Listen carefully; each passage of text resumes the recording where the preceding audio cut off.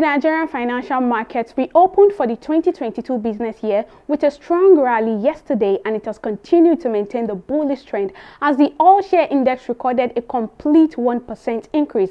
At the close of trading, investors gained a total sum of 243 billion naira as the market capitalization closed at 23.426 trillion naira. The drivers of the uptick in the market was aided by BUA Foods and Airtel Africa, who led our gainers counter as they both recorded a combined 99 naira 50 kobo increase. On the flip side, as our losers listed today, financial services stock Unity Bank and Royalex, they led the losers counter as they recorded a 13 kobo loss at the close of trading. Our market summary sees a total unit of 1 billion, uh, a total volume of 1 billion units of shares valued at 42 billion naira exchange hands in 4,032 deals. The market is in a good position right now as investors continue to reposition ahead of full year earnings results and dividend declarations. Well, we're all optimistic for a bullish year ahead. On the foreign scene, that's the FTSE, the Dow Jones and the Nikkei. They are all in the positive today. UK stocks extended gains for the second straight session on Wednesday